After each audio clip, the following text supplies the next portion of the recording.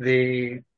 uh, challenges and changes that are necessary in business education in order to um,